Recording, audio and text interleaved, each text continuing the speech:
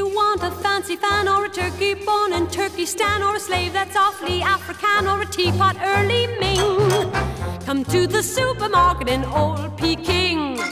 If you want to buy a kite or a pup to keep you up at night, or a dwarf who used to know Snow White, or a frog who loves to sing, come to the supermarket in Old Peking. They have sunflower cakes, moonbeam cakes, gizzard cakes, lizard cakes, pickled eels,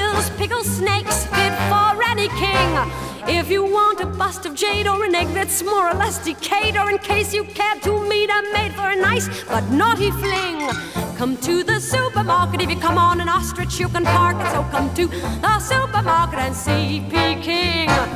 If you want a gun to beat or a rickshaw with a sassy seat or a painting slightly indiscreet, that is simply riveting. Come to the supermarket and see Peking. Well, gentle water buffalo or a glowworm, guaranteed to glow or a cloak inclined to cling, come to the supermarket in Old Peking. They have bird nest soup, seaweed soup, noodle soup, poodle soup, talking crows with the croup, almost anything.